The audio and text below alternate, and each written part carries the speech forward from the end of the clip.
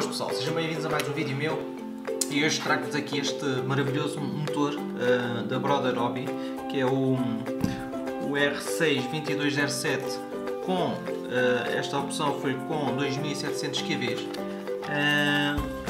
a minha opção uh, na escolha destes motores recaiu essencialmente por causa do tamanho dos regulamentos que é o tamanho de 944 e também pela questão de ser esta marca uh, Hobby que já me trouxe algumas, portanto, algumas boas uh, experiências, tenho plena confiança neste, nestes motores. Uh, são motores muito bons, componentes muito bons também.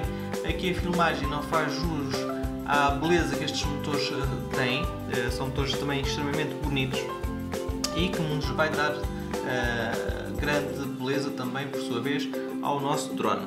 Ora bem, características técnicas, que é o que interessa. É um motor que podemos usar de 4 a 5 S. Uh, os magnetos são arqueados, uh, como poderão verificar por aqui, vê-se que são arqueados e são de um, são os M52H. Uh, depois o que é que posso acrescentar mais? Esta peça central é em titânio, o que nos vai trazer alguma leveza e também robustez e grande resistência a quedas. Uh, aliás, também é oco, por aí também vamos poupar algum peso. Depois aqui os componentes são em alumínio 7075, que é um alumínio bastante resistente também, bastante forte. Um, aqui embaixo leva o porca, não tem o C-clip, que é também muito bom. Um, aqui a parte de baixo é descoberta, o que eu tenho apostado muito na utilização destes motores assim, sem aquela peça completa em baixo. Estes são, uh, são assim neste formato, o que nos vai trazer também um bocadinho mais de leveza ao motor.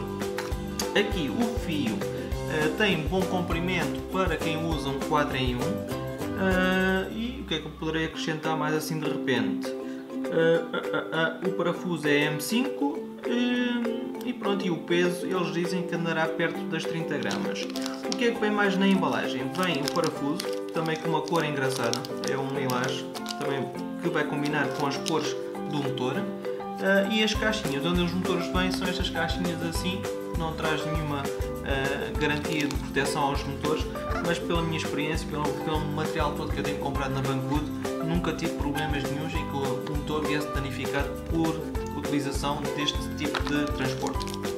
Ora bem, então vamos passar aqui o facto de pesarmos o nosso, o nosso motor, obviamente se a balança ligasse. Um, eles dizem 32 gramas, vamos então pôr aqui o nosso motor. Ora, ele dá-me 30 gramas, o que é melhor do que o anunciado, 31 gramas. Uh, o carro, obviamente, não será usado na totalidade, portanto, penso que o motor andará muito perto das 30 gramas depois de montado.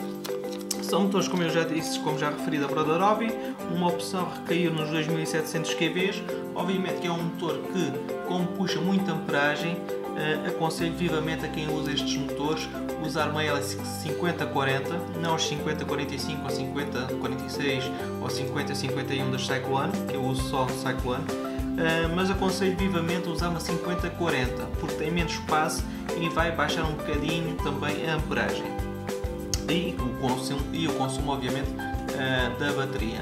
Baterias, aconselho Stato 95Cs, as 1550 eh, que se pode comprar facilmente uh, aqui ao lado em Espanha, uh, no site que é Mercado RC, que é onde eu basicamente compro todas as minhas baterias e também o facto deles não nos cobrarem o IVA, o que nos vai permitir um bom desconto. Um, acima dos 100 euros eles também oferecem os portos.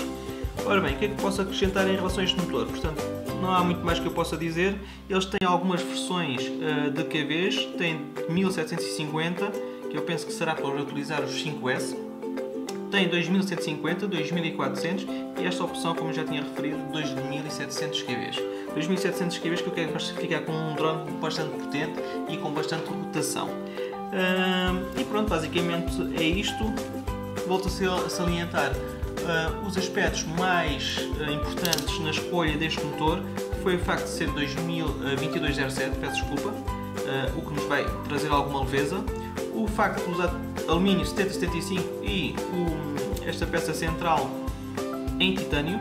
E depois, obviamente, nos regulamentos 944, que me vai permitir que, apesar de, de existirem quedas, que é inevitável com um drone de corridas, apesar de existirem quedas, um regulamento mais, uh, com estas medidas mais, uh, mais substanciais do que os outros que eu tenho visto, uh, pode-nos trazer um bocado mais longevidade na utilização destes motores. E pronto, era basicamente isto que vos queria trazer aqui neste vídeo. Um abraço a todos e bons voos!